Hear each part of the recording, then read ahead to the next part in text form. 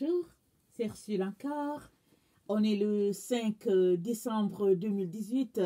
Je viens sonner la trompette aujourd'hui encore et je viens nous encourager à demeurer dans la vérité. Alors, euh, vous savez que la vérité, c'est ce qui nous libère. Et euh, on peut passer facilement à côté juste en voulant faire la personne intéressante ou bien en voulant cacher quelque chose. Et ça devient une, un ombrage sur notre chemin.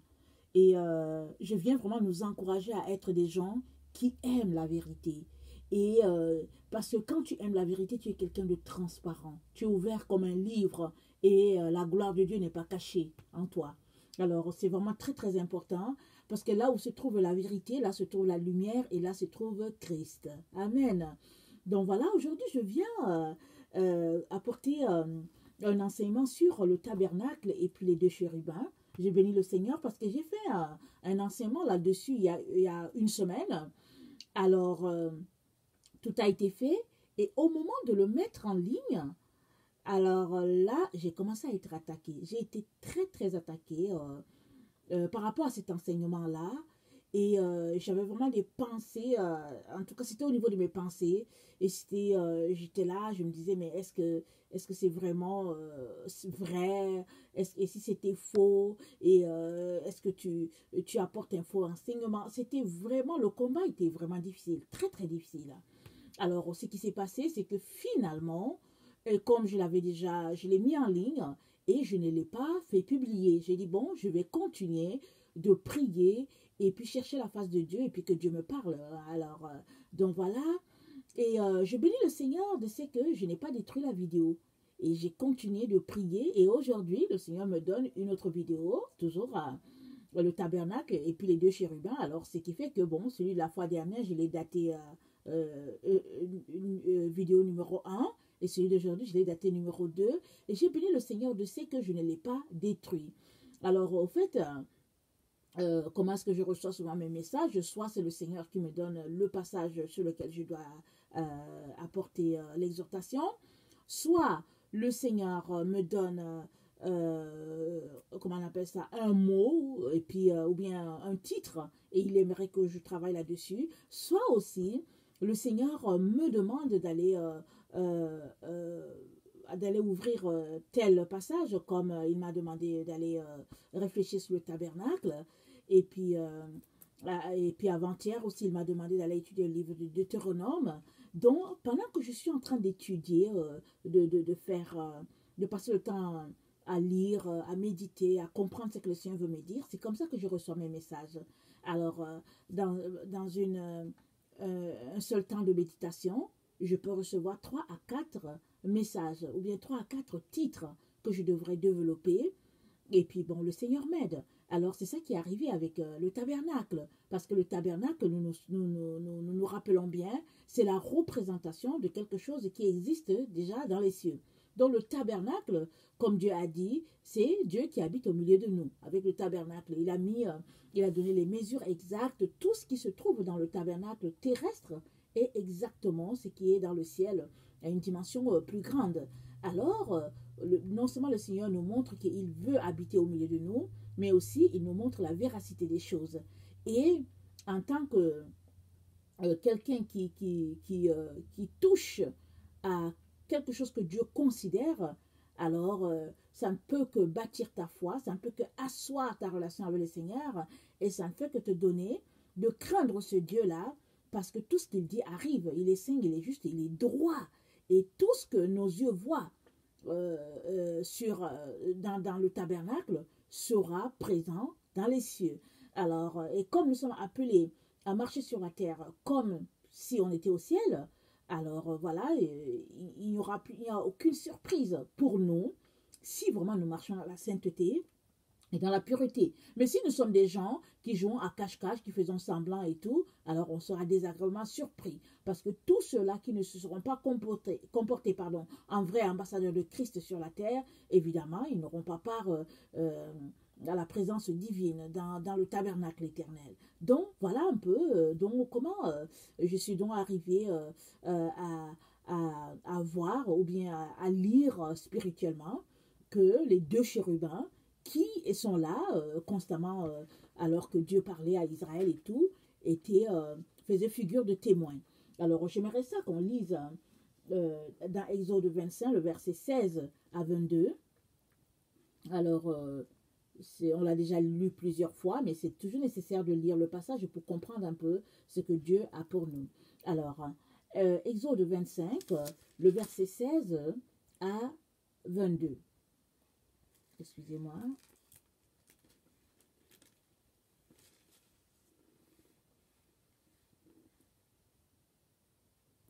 Tu mettras dans l'arche le témoignage que je te donnerai. Tu feras un propitiatoire d'or pur sa longueur sera de deux coudées et demi et sa largeur d'une coudée et demie. Tu feras deux chérubins d'or, tu les feras d'or battu aux deux extrémités du propitiatoire. Euh, fais un chérubin à l'une des extrémités et un chérubin à l'autre extrémité. Vous ferez les chérubins sortant du propitiatoire à ces deux extrémités. Les chérubins étendront les ailes par-dessus, couvrant de leurs ailes le propitiatoire et se faisant face l'un à l'autre. Les chérubins auront la face tournée vers le propitiatoire. Tu mettras le propitiatoire sur l'arche, et tu mettras dans l'arche le témoignage que je te donnerai. C'est là que je me rencontrerai avec toi, du haut du propitiatoire, pardon, entre les deux chérubins placés sur l'arche du témoignage. Je te donnerai tous mes ordres pour les enfants d'Israël. Donc Dieu dit que c'est là, au milieu des chérubins, qu'il va se rencontrer avec Moïse et que euh, il va donner tous les ordres concernant les enfants d'Israël, dont les deux chérubins euh, font figure de témoins. Alors, ils sont au courant de tout, et l'histoire des, deux chérubins, des deux témoins, ça n'a pas commencé maintenant. Ça a commencé depuis le jardin d'Éden, où Adam et Ève ont été chassés du jardin, et Dieu a placé les deux chérubins afin de protéger cet endroit-là, pour qu'ils ne puissent pas y retourner, et peut-être aussi pour que l'ennemi euh, n'aille pas faire euh, euh, tout ce qu'il veut encore faire. Alors, maintenant, est-ce que c'est exactement les deux anges que Dieu a placés au Jardin d'Éden qui sont là? Moi, je ne sais pas, Dieu seul sait. Mais une chose est sûre, c'est que Dieu a placé là deux témoins. Ils sont au courant de tout. Toutes les paroles que Dieu a dit, les deux chérubins sont au courant. Parce que quand la gloire de Dieu descend, les chérubins aussi bénéficient de cette gloire de Dieu-là. Et tout ce que Dieu dit, ils entendent. Alors, c'est ça qui m'a fait dire que les deux chérubins, dans la présence de Dieu, je veux dire dans le tabernacle éternel, seront deux anges. Parce que ici, ils sont représentés comme deux chérubins. Et mais sur la terre, au fait, où ils, ils exercent, euh, ils sont sur la terre, ils sont des, des êtres humains. Maintenant, tout ça, ça, relève de la grandeur, de la préséance, de, de, de, de, l'incompréhension des choses divines. Parce que Dieu est grand et son savoir est au-delà de, de, tout ce qu'on peut comprendre. Alors si en tant qu'humain, on se dit qu'on comprend tout ce que Dieu dit, alors il y a un problème. Parce que Dieu est Dieu, alors sa science est au-delà de notre, de notre compréhension, sa sagesse est au-delà de notre compréhension, tout ce qu'on doit savoir, c'est ce qu'il nous, nous, donne de savoir parce que c'est dit que les choses révélées sont à nous et à nos enfants et les choses cachées sont à Dieu. Donc, Dieu nous donne de réaliser tout simplement que le tabernacle, c'est quelque chose qui existe déjà dans sa présence et les éléments du, du tabernacle euh, vont se réaliser ou bien se réalisent sur la terre. Par exemple, l'arche qui était une boîte, Dieu a trouvé en une personne euh, Marie, cette personne qui pouvait loger le témoignage. Et le témoignage, nous savons tous que le témoignage représente Christ. Donc Christ est venu, il a logé dans le sein d'une vierge et nous savons tous que le témoignage logeait dans l'arche et c'était gardé, c'était d'or pur et tout ça. Et maintenant, les, deux chérubins qui, sont, qui font figure de témoins sont là et ils assistent à tout ce qui se passe depuis la création, tout ce que Dieu fait, ils sont là. Alors, Dieu donc prend encore deux témoins jusqu'à, euh, au fait, on a deux témoins même à la mort de Jésus. Euh, la fois dernière, je ne sais pas quelle, peut-être qu'il y a un mois ou deux mois, j'étais en train de prier et j'ai fait une, une vision. Et dans la vision, Jésus-Christ était sur le bois, il était sur la croix. Mais là, il y avait la lumière qui était forte, qui était là. Et le Seigneur m'a dit, ça, c'est les témoins qui sont là. Les témoins, ils étaient témoins, ils ont tout vu. Ils ont assisté à tout, silencieux. Et vous savez que dans le domaine spirituel, si Dieu n'ouvre pas nos yeux spirituels, on ne le verra pas. Alors souvent les gens ne voient pas, souvent même un ange est là à côté et puis on ne réalise même pas que c'est un ange parce que tellement on est, voilé par euh, la, connaissance des choses spirituelles. Alors sur la croix, il y avait encore les témoins qui étaient là et à la résurrection, il y avait les témoins qui étaient là parce que Marie a dit, écoutez, est-ce que vous l'avez pris, dites-moi où c'est et tout ça. Et euh, on dit que quand elle est venue, il y avait deux anges qui étaient là. Alors, il y a, des, euh, des, des, il y a euh, comment on appelle ça, l'histoire de la résurrection est rapportée par deux personnes différentes. Et l'une rapporte l'histoire de Marie, et l'autre, Marie qui était là, qui cherchait le corps de son Seigneur, et l'autre rapporte l'histoire de deux hommes flamboyants en habit neuf qui étaient là. Ils n'avaient pas d'elle, mais on, on, a parlé d'hommes. Alors, les deux témoins étaient encore là. Et là encore, euh, là, à la fin encore, dans le livre d'Apocalypse, ils seront encore là. Alors, c'est dans Apocalypse 11. Alors, j'aimerais ça euh, euh, qu'on lise rapidement au verset... attendez, Apocalypse 11, je pense que c'est... ok, je l'ai trouvé.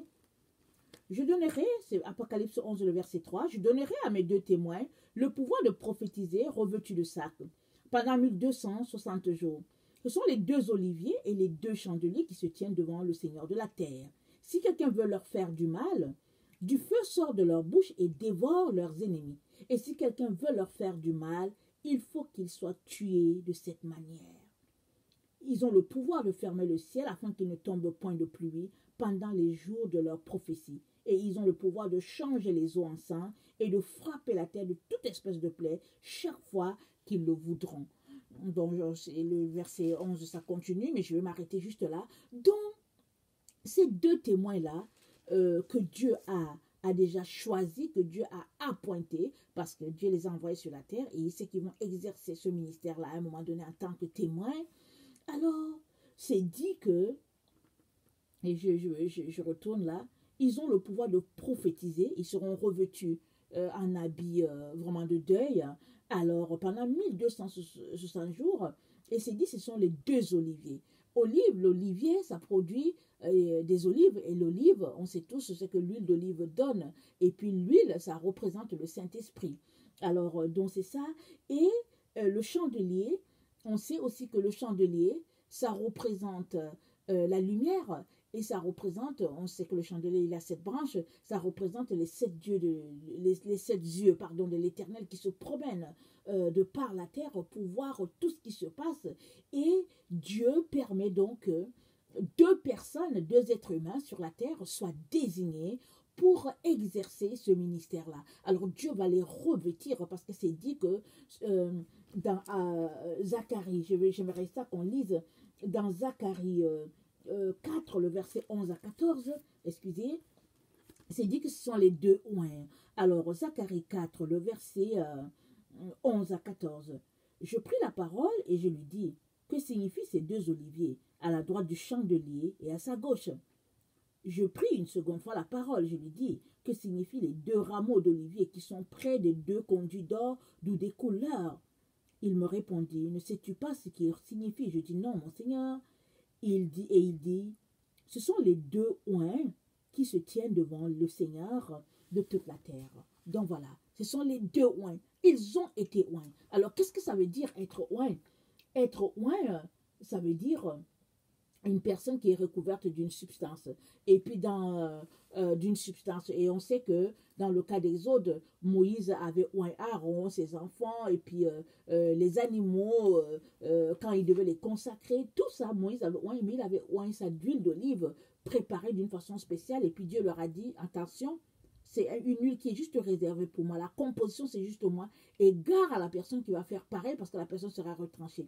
Là, c'est de, de voir combien Dieu considère euh, le Saint-Esprit. Et quelque, Dieu a dit, Jésus-Christ a dit, le blasphème contre le Saint-Esprit ne sera pas pardonné. Tous les autres péchés ne seront pas, mais contre le Saint-Esprit ne sera pas pardonné. Donc, ils sont dit qu'il faut qu'on fasse très, très attention à ce que Dieu appelle pur, parce que le Saint-Esprit, c'est l'Esprit de Dieu lui-même. Et c'est cet Esprit-là qui est venu sur la terre pour nous conduire dans la vérité. Et euh, c'est cet Esprit-là qui a ressuscité Christ. C'est cet Esprit-là qui, une fois que Jésus-Christ est parti, cet Esprit-là que Dieu a envoyé sur la terre pour pouvoir euh, euh, manifester la première Pentecôte. C'est cet esprit-là encore qui sera encore manifesté quand euh, le combat va battre son plein au niveau de, je pense, Apocalypse 12, quand il y aura le combat, parce qu'il y aura, on dit, c'est dit, je ne veux pas lire, que il y aura la, guérison. Dans, Dieu va répandre son esprit sur la terre. Et au moment de, je pense que ça c'est dans Joël qui dit que la première pluie, la seconde pluie, et il y aura des guérisons qui vont se passer. Et ça encore, c'est par l'œuvre du Saint-Esprit. Donc, ces deux personnes-là, c'est des personnes qui sont ointes. Alors, quand on retourne à l'histoire du tabernacle et qu'on se rappelle ce qu'on venait de lire, quand Dieu a dit, je veux parler, il a dit à Moïse, je veux te parler là, entre les deux chérubins. Là, au niveau du propitiatoire, je veux te parler là. Et on sait bien que la gloire de Dieu descendait là. Chaque fois que Dieu venait, la gloire de Dieu descendait là. Alors on comprend que les deux chérubins étaient pas mal loin. Ils étaient pas mal remplis de la présence de Dieu. Ils étaient, pas mal, euh, comment on appelle, euh, sous de la présence de Dieu. Excusez-moi d'utiliser le mot, parce que quand on est, baptisé de l'Esprit, quand on expérimente la présence du Saint-Esprit, on est comme quelqu'un qui a bu. On est comme des gens qui, qui quelqu'un qui est ivre. Donc ces chérubins-là étaient chaque fois ivres de la présence de Dieu. Ils étaient imbibés de la présence de Dieu. Et même quand on lit euh, Exode 30, on lit que au fait, la gloire de Dieu descendait assez sur euh, le, tabernacle et sur la tente d'assignation, et Israël ne pouvait pas bouger tant que la gloire de Dieu descendait. Alors, ces deux personnes-là recevront de Dieu une décharge, une telle onction pour pouvoir exercer ce ministère-là sur la terre pendant le temps où le pendant le temps où l'antichrist et le faux prophète vont passer le temps à faire des miracles mensongers sur la terre, ces deux oins là ils seront là et ils vont prêcher la vérité et rien que la vérité. Parce que Dieu va leur donner de prêcher la parole avec exactitude. Parce qu'il y aura tellement de faux dans les enseignements. Déjà même, on les voit, on le voit. On voit déjà que l'enseignement est pollué dans nos églises, partout. Souvent, on prend tel enseignement, on, essaie d'enseigner ce que tel autre a dit, alors que c'est plein de pollution. Alors, si de jeunes chrétiennes que j'étais, je savais déjà il y a, il y a 30 ans, j'écoutais les enseignements, ici j'arrivais, j'écoutais les enseignements, je me disais non, non, non, il y a quelque chose qui ne va pas, c'est pas, pas vrai du tout. Alors, chaque fois que je sortais l'église, je retournais, je lisais, je me disais, non, il y a quelque chose qui ne va pas. Je ne pouvais pas expliquer parce que je n'étais pas versé dans la parole, mais je savais tout simplement que l'enseignement, il était bancal. Il y avait quelque chose qui n'allait pas. Alors, si un être humain, vraiment un jeune chrétien, pouvait déceler déjà ça, il y a à peu près 30 ans. Alors on peut imaginer ce que c'est maintenant. Il y a les faux enseignants, il y a, il y a toutes sortes de théories parce que tout est mélangé. C'est devenu un méli-mélo, une soupe vraiment euh, avec euh, toutes sortes euh, d'ingrédients, tout simplement parce que la, la, parole a été corrompue et aujourd'hui les gens ils prêchent pour chatouer leurs oreilles. Ils prêchent parce que, bon, ils veulent l'évangile de facilité. Ils prêchent parce que, bon, on, trouve que ce Dieu-là, c'est le Dieu de l'Ancien Testament et que nous, on est dans le 21e siècle et puis il ne faut pas nous fatiguer et tout etc. Alors, ces deux témoins-là, ils vont prêcher rien que la vérité et purement la vérité. Et ceux-là qui marchent par la lumière de Dieu vont les entendre et ils vont savoir que oui, l'Esprit de Dieu est là par ici. Parce que la contrefaçon sera telle que, si ce n'est pas l'Esprit de Dieu qui est en toi, pour te faire discerner la vérité, tu ne verras pas la vérité. Alors, euh, il y aura les, faux prophètes, déjà on voit qu'ils sont pleins sur la terre. Il y aura des miracles mensongers, déjà on les voit. Il y a des gens qui guérissent, il y a des gens qui ont des dons de guérison par des pouvoirs diaboliques, mystiques. On le voit sur la terre. Il y a des gens qui multiplient l'argent. Il y a des gens qui sont tellement remplis euh, euh, de, biens matériels et puis ils disent que non, Dieu m'a béni alors que c'est par toutes sortes vraiment de, comportements tout simplement parce que bon, les gens sont devenus fanfarons, amis de l'argent, blasphémateurs, détestant Dieu, comme c'est dit dans, je pense, 1 Timothée 4. Et les deux témoins, ils vont faire la différence. Les deux oins vont faire la différence sur la terre. Et pourquoi Dieu permet ça? Parce que Dieu a dit dans sa parole que c'est sur la base de deux ou de, trois témoins que la chose sera tenue pour vraie. Dieu lui-même a déjà donné sa parole et il va permettre que la terre puisse bénéficier du ministère de ces deux témoins que lui-même va mettre, va envoyer sur la terre comme un cadeau pour l'humanité, afin que ceux qui veulent euh, la vérité puissent euh, être arrachés au pouvoir de l'Antichrist. Maintenant, si malgré la présence de ces deux témoins, les gens préfèrent encore euh, le faux, ils vont se retrouver à être séduits par les miracles mensongers du faux prophète qui va le faire, euh, qui fera ces miracles afin d'élever l'antéchrist. Et toutes les personnes qui vont croire à ces miracles mensongers seront coupées de la présence de Dieu. Mais avant que Dieu juge la terre, il va encore permettre que, ces deux témoins puissent prêcher la vérité. Et si tu es quelqu'un qui a un cœur tourné vers la vérité, tu vas reconnaître tout de suite que non, l'Esprit de Dieu est ici. L'Esprit de Dieu est ici. Je vais écouter ce qui se passe ici. Parce que c'est Dieu qui est là. Mais si tu es quelqu'un qui est porté vers le faux, tu vas dire n'importe quoi. Tu vas les passer et tu ne te rendras même pas compte qu'au fait, tu es en train de, d'aller atterrir dans la gueule de l'antichrist, excusez-moi le terme, tu vas atterrir là-bas et tu vas te retrouver coupé carrément de Dieu parce que tu vas te retrouver euh, là où il y a les pleurs et les grincements dedans. Donc, mes chers frères et chers frères, mes chers frères et chères sœurs, faisons très très attention pour ne pas tomber dans le piège de Satan. Et prions que Dieu nous donne d'avoir un cœur qui aime la vérité. Parce que quand on est quelqu'un qui est porté vers la vérité, Dieu va toujours venir à notre secours pour nous dire, euh, ici tu es en train d'aller vers le faux. Et moi, le Seigneur est venu plusieurs fois à mon secours. Plusieurs fois, plus d'une fois. Et très, très, très souvent. Et souvent même, je peux arriver sur Internet parce que je veux relaxer et je vois un titre et je clique pour aller écouter et subitement, sans avoir écouté, non, je, n'avance pas, je dis non, et puis je ressors. Pourquoi? Parce que ça, c'est une grâce que Dieu me donne de ne pas souiller mon esprit par quelque chose qui n'est pas de lui. Alors, dans Zacharie 2, le verset, euh, euh, du verset 1 à 5, c'est dit ceci, j'aimerais vraiment le lire. Ça dit Je levai les yeux et je regardais, et voici, il y avait un homme tenant dans la main un cordeau pour mesurer. Je dis, où vas-tu Il me dit, je vais mesurer Jérusalem pour voir de quelle largeur et de quelle longueur elle doit être. Et voici l'ange qui parlait avec moi s'avança, et un autre ange vint à sa rencontre. Il lui dit, cours, parle à ce jeune homme, et dis, Jérusalem, Jérusalem sera une ville ouverte à cause de la multitude d'hommes et de bêtes qui seront au milieu d'elle. Je serai pour elle, dit l'Éternel, une muraille euh, de feu tout autour, et je serai sa gloire. Au, je serai, euh, euh, sa gloire au milieu d'elle. Donc Jérusalem, c'est l'endroit où tout se passe. Jésus est mort à Jérusalem et les deux prophètes vont mourir à Jérusalem. Et Jésus est venu il y a déjà 2000 ans il est mort. Et quand il est mort, quelques jours avant qu'il meure, je pense que c'était six jours avant, il a dit, il a dit, oh Jérusalem, toi qui tues les prophètes, ah combien j'ai aimé rassembler tes enfants autour de toi, mais tu n'as pas voulu. Donc, moi je m'en vais jusqu'à ce que vienne, euh, jusqu'à ce que tu cries, béni soit celui qui vient au nom du Seigneur. Alors, il y a 2000 ans, Jésus a donné cette parole, et avant qu'il revienne encore poser ses pieds sur le monde des élevés, deux personnes vont encore mourir. Deux personnes, deux ouins vont mourir encore. Leur sang sera versé, évidemment.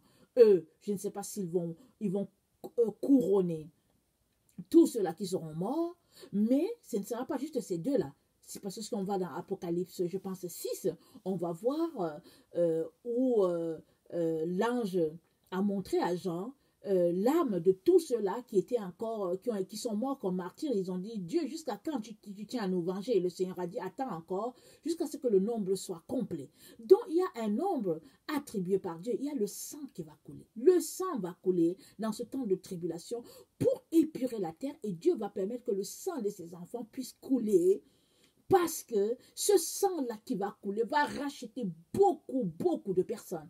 Parce que vous savez quoi? Euh, quand le sang d'un juste coule, c'est le rachat de beaucoup d'âmes. Amen. Et tous ces gens-là qui vont accepter de mourir pour le Seigneur, c'est ces personnes-là, au fait, qui ont tout donné pour Jésus, qui ont tout laissé au Seigneur. J'espère que là où tu es là, tu as tout donné à Jésus et que tu ne craindras pas la mort. Vous savez, il y a un moment de, un temps de, de, de, de tribulation qui va balayer la terre. Et si tu es quelqu'un qui craint la mort, alors tu ne donneras pas ta vie à Jésus et tu vas te retrouver du côté de l'Antichrist. Mais si tu es quelqu'un qui ne craint pas la mort, qui a tout donné à Jésus-Christ, vivant ou mort, ça ne te fera rien. Ah, au contraire, tu vas venir offrir ta vie pour sauver beaucoup de gens. Tu vas dire à l'antéchrist, non, je ne veux pas me mettre à genoux devant toi. Tu vas dire au faux prophète, non, moi je ne veux pas l'adorer, je ne veux pas adorer ce monsieur-là. Mon Dieu vit. Et tu vas te comporter comme Shadrach, Meshach et Abednego. Dans le cas de Shadrach, Meshach Abednego, Dieu a envoyé l'ange l'éternel, qui n'est autre que Jésus-Christ, pour les sortir de la fournaise de feu. Mais dans le temps de la tribulation, Dieu ne va peut-être pas permettre que tu, tu, sortes de là, il va permettre que ton sang coule parce que déjà en venant sur la terre, tu t'es entendu avec Dieu que tu ferais partie de ceux-là qui feraient couler le sang pour le rachat de, tes frères, pour le rachat de l'humanité. Alors, il est donc important que Dieu fasse euh, arriver les choses et avant que ça soit clôturé, avant que Jésus-Christ vienne, il va encore permettre que deux personnes, deux témoins soient là. C'est comme la preuve et Dieu va dire à toute l'humanité, je vous ai envoyé deux personnes. Il va dire, je vous ai envoyé plusieurs personnes, les 144 000, mais je vous ai aussi envoyé ces deux-là qui sont allés jusqu'à mourir dans l'endroit que c'est appelé Sodome et Gomorre, parce que c'est ça qui est dit quand on lit Apocalypse 11. Et vous n'avez pas cru. Et vous n'avez pas cru, parce que la, la suite de Apocalypse 11 dit qu'il y aura un tremblement de terre à cette ville-là et 7000 personnes vont mourir. Et puis bon, je ne sais pas si ce sera juste dans la ville de Jérusalem qu'il y aura ça, ou bien ce sera un tremblement de terre planétaire, je ne sais pas. Mais toujours est-il que quand ils vont se réveiller euh, de, cette mort pendant trois jours, il y aura un tremblement de terre. 7000 personnes vont mourir et les gens vont les voir monter vers le ciel et ils vont dire Waouh, ça c'est vraiment Dieu. Alors imaginez des gens qui regardent ça en train de se passer. Qu'est-ce qui va Ça sera la, récolte des récoltes. Amen. Parce que si les gens ne sont pas à Jérusalem, ils ont leur cellulaire, ils ont Internet, ils ont tout ça. Ils vont regarder la chose se passer en direct. Ils vont dire quoi?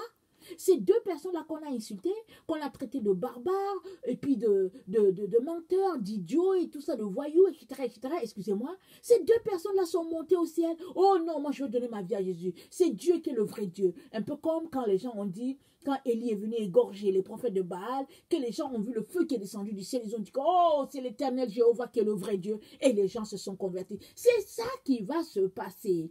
Alors ce sera une, une, récolte extraordinaire. Un grand nombre de personnes vont se convertir. Et Dieu, avant que cela arrive, Dieu parle déjà à Moïse. Il annonce ça déjà depuis, la, depuis Exode. Il annonce les choses qui vont arriver. Et il nous parle. Et Dieu est en train de nous montrer que c'est lui le Dieu de la vérité. Si toi, tu ne crois pas, alors que toutes ces choses, tu lis ces choses-là, il y a un problème. Il faut que tu ailles devant Dieu, que tu cries, que tu pleures, que tu dis Seigneur, viens inculquer la vérité en moi. Viens Seigneur euh, enraciner la vérité en moi. Parce qu'il n'y a que ceux-là qui marchent dans la vérité qui pourront dominer sur les, les, les, forces de l'antichrist et du faux prophète, parce que c'est des forces mystiques, c'est des forces de sorcellerie, de magie noire, euh, de, de mensonges, de falsification, de séduction. Toutes ces forces-là, elles sont déjà en action. Alors si tu es quelqu'un qui est porté à, être intéressé par ces choses-là, tu risques d'être balayé par la séduction. Moi, je viens t'encourager aujourd'hui à laisser toutes ces choses-là et à te tourner vers Jésus. Assois-toi, ta Bible en main, prie ton Dieu, cherche sa face et il te visitera. Il te baptisera de son feu. Il te donnera de ne point céder aux séductions de l'ennemi et de rester ancré en lui et puis, euh, vraiment, tu ne branches pas, tu es droit comme une aiguille, vraiment ancré dans sa parole. Ce sont ces personnes-là qui pourront passer à travers ce moment de la, euh, tribulation. Parce que vous savez quoi, la tribulation et, la tribulation, tout le monde va voir la tribulation. Je ne sais pas à quel moment l'enlèvement va se passer. Moi, ça, je ne sais pas. Mais je sais au moins que tout le monde verra que, oh, on est dans le temps de la tribulation. Ce n'est pas vrai que oui, ça va se passer et puis les gens ne sauront pas et puis ça va se passer en arrière de non. Ça va se passer, tout le monde va dire, ils vont se, les chrétiens vont se parler, vont dire, ah, on dirait qu'on est dans la tribu. Oh, on dirait qu'il y a des choses qui se passent. Et là, les gens vont commencer à se sanctifier, ils vont commencer à demander pardon, ils vont commencer à s'apprêter et tout. Parce que c'est aussi important que cela se passe. Et il y aura beaucoup de chrétiens qui seront mis en prison, qui seront persécutés et puis bon, voilà, ça fait partie euh, euh de, de, des choses qui doivent arriver parce que Dieu nous a déjà dit ça. Mais toi qui es en train de m'écouter, est-ce que tu es prêt à passer par ce temps-là? Est-ce que tu es préparé à ces moments-là? Vous savez, notre monde nous a appris une vie de facilité, une vie de micro-ondes. Alors, tout ce qu'on fait, en 5-10 minutes, tout est prêt. Alors, on aime la vie de facilité, on aime manger, on s'assoit devant la télévision, on relaxe, et puis, en tout cas, toutes sortes de, de, sais pas, de comportements. Alors que Dieu a dit à Josué, que ce livre de la loi ne s'éloigne pas de ta bouche. Médite le jour et nuit pour agir fidèlement selon tout ce qui est écrit. Car c'est alors que tu auras des succès dans, dans tes entreprises, c'est alors que tu réussiras. Alors, ta seule manière, la seule manière pour toi d'arriver devant le trône un jour, c'est de faire de ce livre-là ton ami, de l'avoir sous tes yeux, de le regarder, de le scruter, de l'étudier, de dire au Seigneur, Seigneur, viens donc faire la vérité en moi, mets ça dans mon âme, dans mon esprit, dans chaque fibre de mon être, Seigneur, que la vérité fasse partie de ma vie. Ce n'est que comme ça que tu vas t'en sortir. Alors, mais si toi tu restes là, que tu te fais, euh, que tu restes là te faire leurrer par les différents messages qui sont prêchés euh, dans les églises pour faire rire les gens comme des amphithéâtres et tout, alors tu seras juste perdu tu seras déçu. Et puis tu vas penser, tu vas vouloir accuser Dieu. Ce jour-là, il n'y a personne qui accusera Dieu. Dieu dira que je t'ai envoyé telle personne, voilà ce que tu as fait. J'ai mis telle personne sur ton, chemin, voilà ce que tu as fait, voilà ce que, comment tu as fait, et tout, ça. Donc moi, je viens t'encourager à ne pas faire partie de toutes ces personnes-là qui lapident les, les, les, envoyés de Dieu, qui les méprisent, qui les insultent, qui les traitent de n'importe quoi. Alors moi, je viens t'encourager à demeurer dans la vérité, à craindre l'éternel. Parce que la crainte de l'éternel, dit le Seigneur, c'est euh, euh, il dit le, commencement de la sagesse, pardon, c'est la crainte de l'éternel. Si tu crains l'éternel, tu arriveras très loin. Tu verras sa face un jour. Mais si tu ne le crains pas, bon, dommage. Alors je viens vraiment nous encourager à rester vraiment accrochés au Seigneur afin de ne pas céder à toutes les supercheries qu'il y a autour de nous. Et Dieu nous donne encore, encore euh, de, de réaliser que deux témoins, deux personnes sont là elles vont mourir encore pour l'humanité et devant Dieu, elles seront vraiment des anges donnant sa présence. Alors que le Seigneur vraiment nous donne de nous examiner et de voir jusqu'où on est versé dans le faux et de changer. Parce que tu ne changeras pas en un clin d'œil là. Euh, comme ça, tu ne vas pas changer d'aujourd'hui au lendemain que bon, je ne veux, je ne veux plus euh, euh, être versé vers le faux. C'est une vie de repentance. Tu as besoin de venir devant Dieu, pleurer pour tes péchés, pour ton comportement, pour tout ce que tu fais, dans le faux, dans le noir. Tu as besoin de venir. Et une fois que tu t'es lavé de tout cela, Dieu te donne un cœur nouveau et tu repars à nouveau. C'est très important. Mes chers frères et chers sœurs, très très important. Un jour, tu ne te tiendras pas devant Dieu pour accuser que bon, euh, le pasteur n'a pas prêché dessus, les anciens n'ont pas prêché dessus, et puis ta, ta, ta, parce que tu as une Bible, n'est-ce pas? Alors, ne les suis pas. Prends et puis lis-la. Eux, ils sont des humains comme toi. S'ils peuvent te donner un message, tant mieux. Mais si tu n'en donnes pas, alors n'attends pas. Et puis pour ton information, la plupart, hmm, ils donnent des messages, euh, en tout cas, on ne sait même pas d'où ils tirent ça. Aucune notion. Vraiment des messages, euh, en tout cas, je ne veux pas commenter. Alors si toi, tu ne vas pas devant Dieu, tu ne sauras pas si ce qu'ils te disent, c'est la vérité ou pas. Parce que plusieurs euh, prêchent du faux. Et puis, les doctrines des, chrétiens sont infiltrés par des doctrines de démons, tout ça. Tout ça est fait pour détourner l'enfant de Dieu de la vérité. Alors il te revient à toi et à moi quand nous entendons quelque chose. Allez prendre la Bible pour voir si c'est vrai ce qu'on a entendu. Parce que écoute, pendant que je parle, il faut aller vérifier devant Dieu si ce que je dis c'est vrai ou pas. Et si tu trouves que c'est faux, alors vraiment va dans la vérité et puis prie que le Seigneur puisse me parler pour que je puisse retrouver le chemin. Mais si tout que c'est la vérité, alors saisis cette vérité, va, change ta vie afin que tu sois cette flamme-là qui brille et puis qui va amener au Seigneur beaucoup de personnes. Parce que Jésus-Christ a dit, on n'allume pas une lampe pour la mettre sous le boisseau, on l'allume pour qu'elle éclaire et que tout le, tout, tout, tout, tout, tous les environs soient éclairés. On la met sur euh, un lieu élevé et puis comme ça tout le monde est élevé. Et je prie que tu sois cette lumière-là. Amen. Si toi tu es quelqu'un qui ne connaît pas le Seigneur, je viens te dire que Jésus-Christ est le seul chemin. Il n'y a pas un prophète qui va te sauver. Il n'y a pas une religion qui va te sauver. Ton argent ne te sauvera pas. Tes études ne te sauveront pas. Rien ne te sauvera à part Jésus-Christ. Donne-lui ta vie et tu ne le regretteras jamais. Jésus-Christ, c'est le chemin. C'est le pont entre Dieu et les hommes. Et puis tu sais quoi? C'est le meilleur des maîtres. C'est le meilleur des époux. C'est le meilleur des amis. Tu ne regretteras pas d'avoir expérimenté ce Seigneur-là. Alors que le Seigneur te bénisse, vraiment qu'il te donne de venir reposer en son sein, un peu comme j'en faisais. Amen. Alors je vous aime beaucoup et Dieu davantage. Ça y est béni. Merci beaucoup.